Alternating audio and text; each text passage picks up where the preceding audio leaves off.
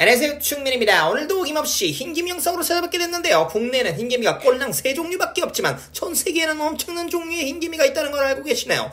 해외에 서식하는 녀석들을 보면 굉장히 독특하게 생긴 흰개미들도 많습니다. 그래서 오늘은 우리 국제 흰개미씨가 키우고 있는 조금 독특한 흰개미를 보여드릴 건데요.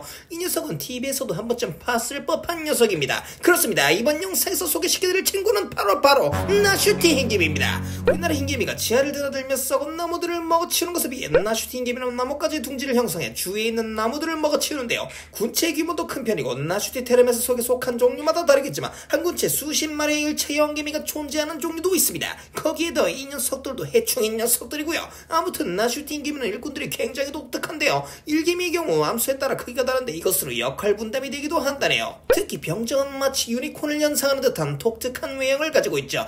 병정 흰개미야말로 나수티 흰개미의 트레이드마크가 아닐까 싶습니다. 일반적인 흰개미가 턱으로 공격하는 것에 비해 나수티 흰개미의 병정개미는 머리에 달린 뿔에서 유독성 액체가 발사됩니다. 아주 끈적끈적한 액체로 적들로부터 집을 방어하기 위해 사용하는 방법이죠. 사람에게는 큰 대미지를 못 주는 것 같기는 한데 아무튼 특이한 녀석들입니다. 게다가 이 녀석들도 세우기 가능하죠. 국내 흰개미와 동일하게 2차, 3차 여왕개미를 만들어낼 수 있기 때문에 군체를 탈탈 털면 아주 손쉽게 세우기 가능한 녀석들입니다. 언젠간 실물로 한 번쯤은 보고 싶은 흰개미인데 한국인 이상 저런 동자 흰개미로 만족을 해야겠죠. 아무튼 짧지만 우리 국제 흰개미 씨의 나슈티 흰개미를 보여드렸 보여드렸고요. 다음에 또 다른 흰개미 영상으로 찾아뵙도록 하면서 이번 영상은 여기까지 하도록 하겠습니다. 감사합니다.